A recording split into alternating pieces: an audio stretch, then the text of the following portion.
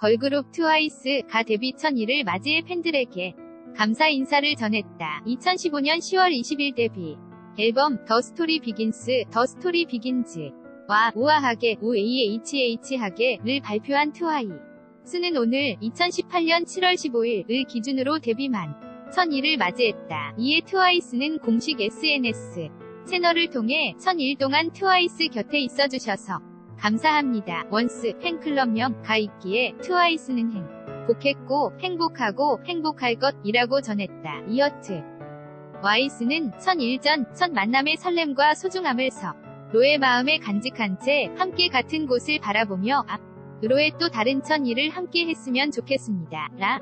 고 소망했다. 한편 트와이스는 지난 9일 오후 6시 두 번째 스페셜 앨범 Summer Night Summer Night S과 타이틀곡 Dance The Night Away Dance The Night Away를 발표하고 컴백했다. Dance The Night Away는 트와이스의 첫 서머송으로 특별한 행복을 품고 살아가는 아홉 멤버들의 청춘을 표현한 up tempo 팝곡이다. Dance The Night Away는 공개 7일째 이자 데뷔 1000일이 된 15일 오전 9시 기준 멜론 엠넷닷컴, 벅스, 몽키3 등 국내 4개 실시간 음원 차트 정상을 차지하며 꾸준한 인기몰이를 하고 있다.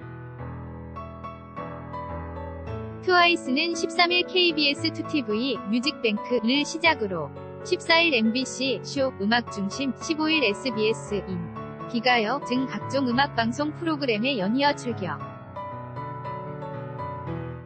시원하고 청량한 느낌의 Dance The Night Away 퍼포먼스를 선사하고 있다. YTN 스타 강내리 기자 N rk-ygtnplus.co.kr 사진 제공 는 JYPN 터테인먼트